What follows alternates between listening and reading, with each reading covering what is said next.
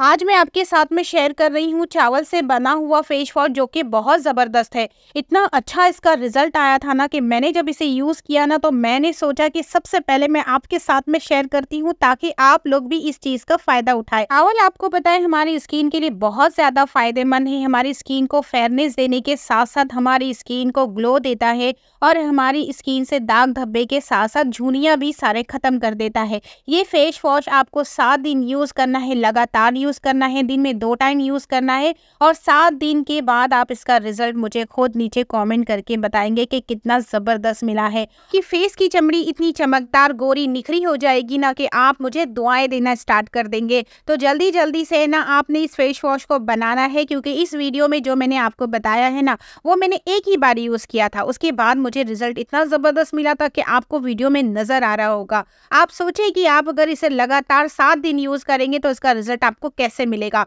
बहुत ज़बरदस्त रिज़ल्ट मिला था। तो आपने ना इसे ज़रूर ट्राई करना है और इसे बनाने के लिए हमने क्या क्या चीज़ों का इस्तेमाल किया है, ये मैं अभी आपके साथ में शेयर करती हूँ। तो चलिए स्टार्ट करते हैं इसे बनाना। बिस्मिल्लाहिर्रहमानिर्रहीम रहीम अस्सलाम वालेकुम चावल हमने ले लेना है। जो भी घर में आप चावल यूज़ करते हैं, बस आपने वही चावल लेना है। कोई भी बाहर से ख़रीद कर चावल लाने की आपको बिल्कुल ज़रूरत नहीं है। इस चावल को मैंने चार से पाँच घंटे के लिए अच्छी तरह से धोकर भिगो कर रख दिया था। आपने भी इसे चार से पाँच घंटे के लिए भिगो कर रखना ज़रूर है।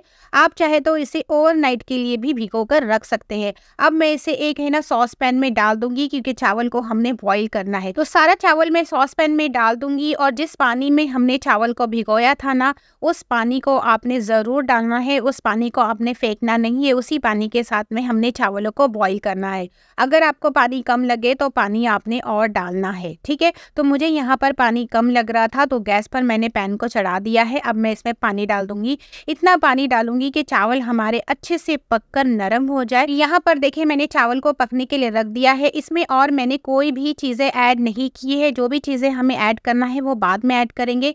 यहाँ पर नमक वगैरह आपने बिल्कुल नहीं डालना है, क्योंकि चावल को हमने फेस के लिए यूज़ करना है, खाने के लिए यूज़ नहीं करना है। तो इसीलिए यहाँ पर आपने नमक को बिल्कुल भी नहीं डालना है। आप वो चावल भी यूज़ कर सकते हैं, जो घर में आपके पास पका हुआ है। बट आपके चावल में नमक नहीं होना चाहिए, ठीक है?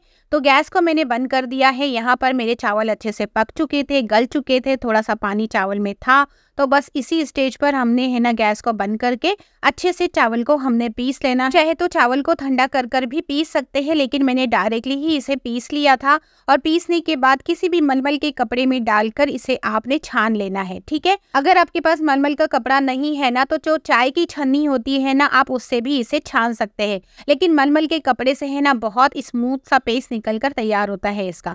तो यहाँ देखिए, अभी चावल थोड़े गर्म है तो मैं इसे अच्छे से दबा दबा कर, है ना, कपड़े से निकाल लूँगी। ये देखिए कितना गाढ़ा सा और कितना ज़बरदस्त सा ये चावल पीस कर तैयार हुआ है। यही टेक्सचर होना चाहिए हमारे फेस वॉश के लिए। तो आपने, है ना, इस बात का ख्याल रखना है। अगर आपको चावल का पानी ज़्यादा लग रहा है तो चावल के पानी को आपने थोड़ा सा और सुखा लेना है। उसके बाद में चावल को पीस लेना है, ठीक है? और उसके बाद में है ना, अच्छे से इसे हम छान कर निकाल लेंगे। ये बहुत स्मूथ सा पेस्ट निकल के तैयार होता है तो बस हमें यही चाहिए। आप चाहे तो पूरे फेस वॉश को बनाने के बाद भी ये प्रोसेस कर सकते हैं, लेकिन पहले कर लिया था मैंने इसे। ये देखिए, चावल का स्मूथ सा पेस्ट निकल कर तैयार है। अब हम क्या करेंगे ना, एक छोटा सा बाउल लिया है मैंने। इसमें मैं एक चम्मच भर के कॉर्नफ्लावर डाल दूँगी और इसमें मैं डाल दूँगी पानी।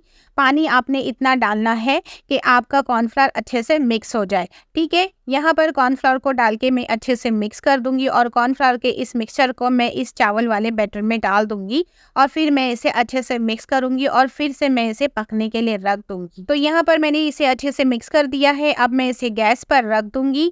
पकने के लिए थोड़ा स्लो फ्लेम पर पकाना है इसे और अच्छा अच्छा गाढ़ा सा एक पेस्ट तैयार हो जाना चाहिए। उस वक्त तक आपने इसे पकाना है। अगर आपको कॉर्नफ्लावर थोड़ा कम लगे तो आपने थोड़ा सा और डाल देना है, लेकिन ठंडे पानी में मिक्स कर कर ही आपने कॉर्नफ्लावर को मिक्स करना है। ठीक है? तो यहाँ पर मैं विस्क की मदद से अच्छे से इसे मैं मिक्स कर लूँगी ताकि कोई लम्स नहीं बने। तो यहाँ देखिए बहुत अच्छा सा ये मिक्स भी हो चुका है और बहुत अच्छा सा बॉयल भी आ चुका है। तो ये टेक्सचर हमें चाहिए, क्योंकि ठंडा होने के बाद ये थोड़ा सा और गाढ़ा होगा। फेस वॉश यूज़ करने के लिए जो टेक्सचर हमें चाहिए ना, बस यही टेक्सचर हमें चाहिए। तो आपने भी इस बात का ख्याल रखना है। तो यहाँ देखिए मैंने इसे दूसरे बाउल में निकाल लिया है।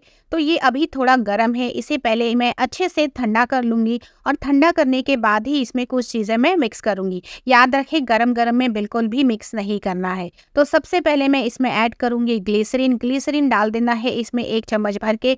ग्लीसरीन आपको पता है हमारी स्किन के लिए बहुत ज़्यादा फ़ायदेमंद बहुत ज़्यादा। इसके बेनिफिट इतने ज़्यादा है ना कि आपको अगर मैं बताना शुरू करूँगी ना तो मुझे लगता है कि दो तीन घंटे भी कम पड़ जाएँगे इसके बेनिफिट के लिए। तो आप इसे गूगल पे सर्च करके मालूम कर सकते हैं। यहाँ पर मैंने विटामिन ई e का कैप्सूल डाल दिया है एक।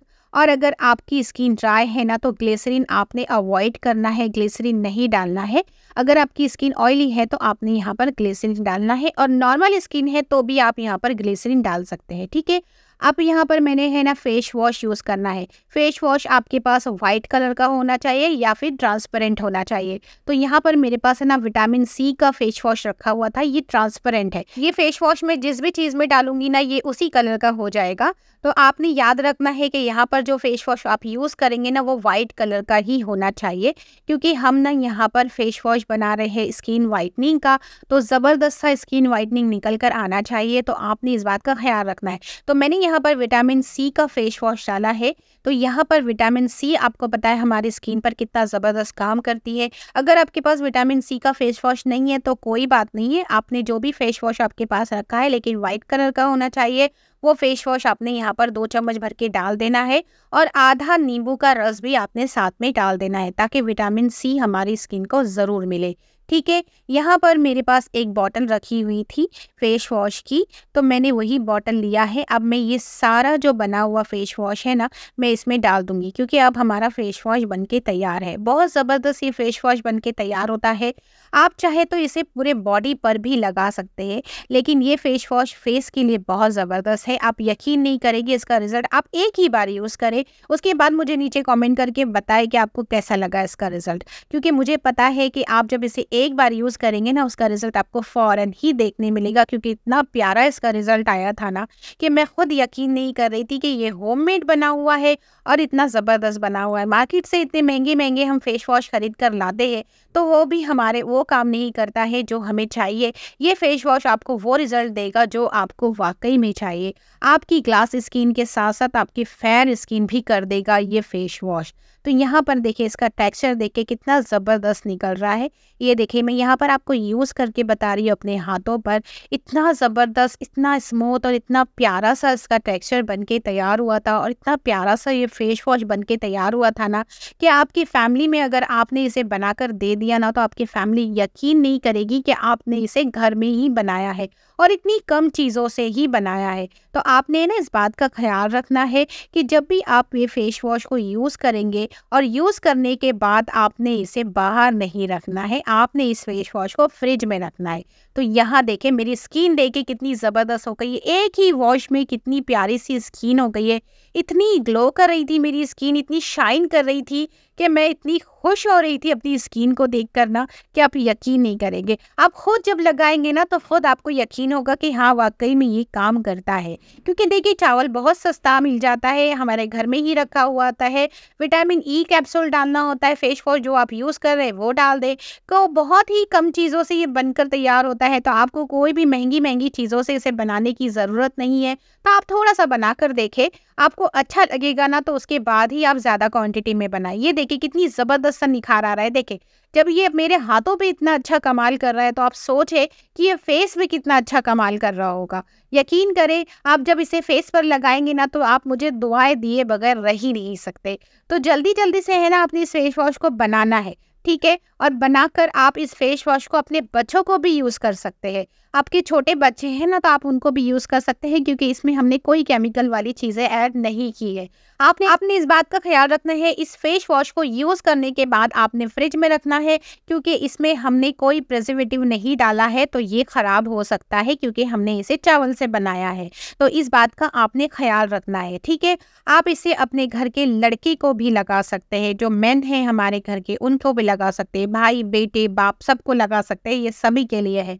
इसका टेक्स टेक्सचर सेम सेम रहेगा, बिल्कुल ये फ्रिज में रखने के बाद जमेगा नहीं। ठंडा ठंडा सा आप जब फेस वॉश यूज़ करेंगे ना तो आपको बड़ा मज़ा आएगा। तो इस फेस वॉश को ज़रूर बनाना है और मुझे अपनी दुआओं में ज़रूर याद करना है, अपना बहुत ख्याल रखना है।